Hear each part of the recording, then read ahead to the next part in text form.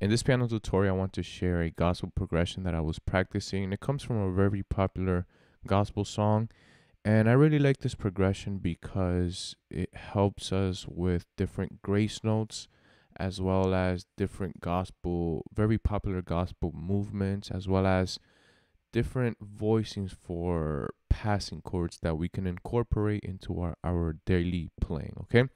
And this one is in the key of E flat major. And it sounds something like this.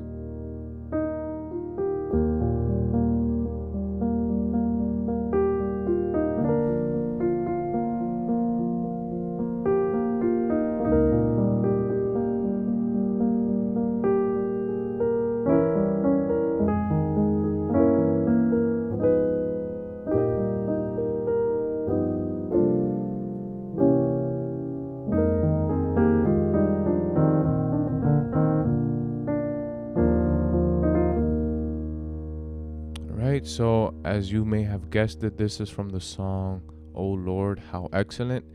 And let's get into the different movements, different chords that we are using within this progression, okay?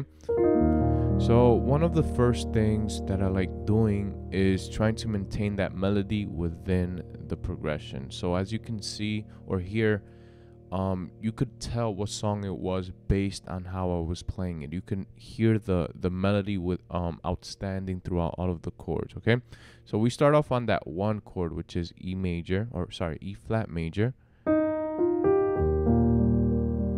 And the way I'm voicing this chord is by not just playing a bass note in my right hand, but actually playing a whole chord, which is in this case E flat major, as a drop two voicing. So the one, the five, and then the 10 or the three, right? So, and I'm just playing with these middle note middle notes to create some movement or rhythm within the chord.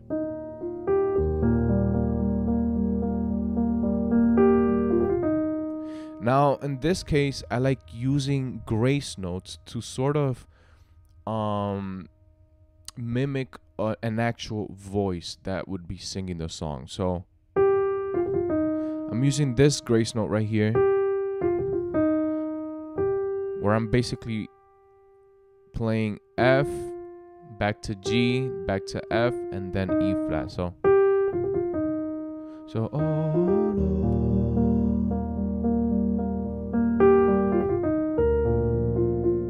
And it sounds really nice in, in context. So for the second chord, we're playing a B flat over D, which is a 5 over a 7. As you can see, I'm still including that drop two voicing in my left hand to sort of fill up the chord a little bit more. Still creating some movement within the chord.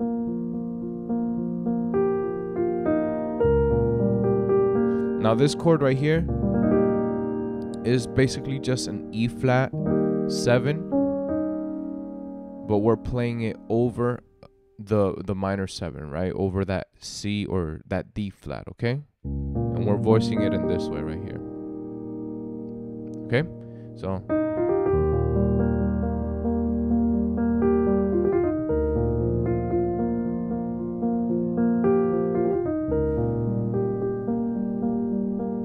Now, in this case, the next chord is actually one of my favorite within the progression because it's very very influenced by by gospel right? And it includes some diminished chords some minor six or half diminished chords right? Right? This e diminished seventh chord is the first chord in this section. And it's being used to approach the two, right? So this E diminished seventh can be learned as a passing chord to play before a two chord. Right? And you can even voice it like this if your left hand can reach. Right? So it's a excellent. And I also really like it because you can hear the melody even be even within this passing chord, right?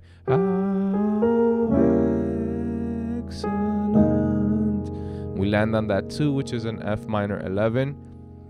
And then we actually invert this initial passing chord, right? So E diminished seventh to the two, then we invert it to this G diminished seventh, which actually has the same exact notes as the E diminished seventh, right? Then we're actually going to use this chord as a passing chord to approach this A flat minor six, right? Very gospely, right? And something cool about this chord is that it sort of doubles as an F half diminished, right?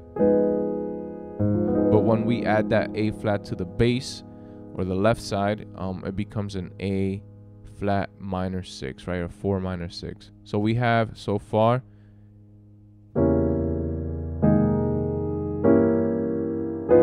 right, very gospely. And as you guessed it, the next chord is going to be a five, right? This is basically just a walk up.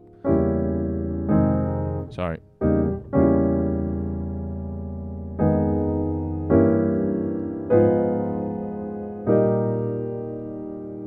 Land on this one over five, which is just an E flat over B flat.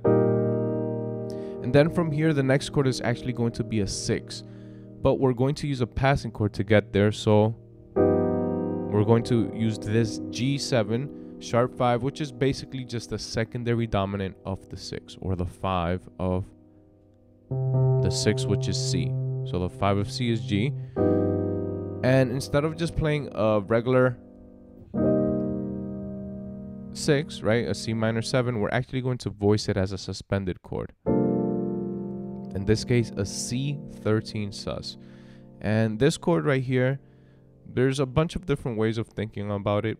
Since I'm playing it in two different hands, I like thinking about it as a C sus4, 7, or C7 sus4. Right, we have the C, the, the minor seventh, and then the sus4, which would be the 4 and the 5. In the left hand, and then the right hand, we have a D minor 7. It can also be thought at, thought about as a B flat major 9 over a C sus 4. Okay? And that chord right there is not going to stay there, right? We're actually going to resolve it to a C 7 flat 9. So we can also resolve it to a C7 flat 9 sharp 5, right?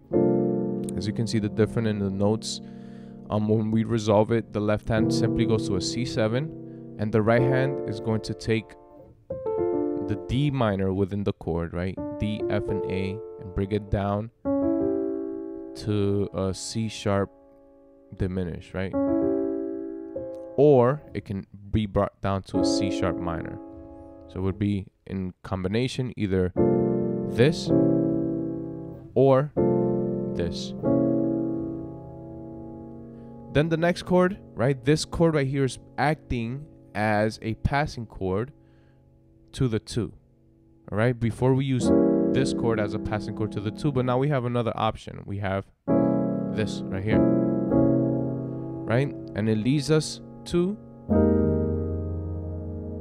the two in this case, which is an F minor 11 once again.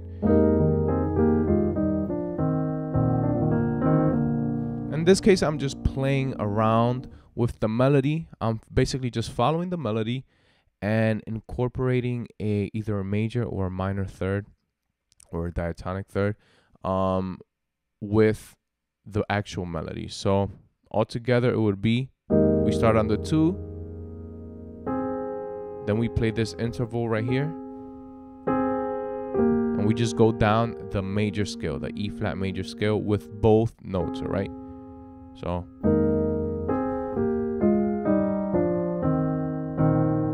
So, and actually play a grace note with both of them would be.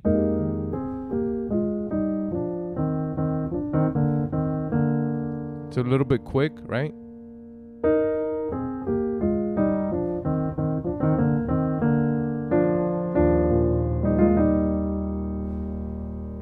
All together with both hands.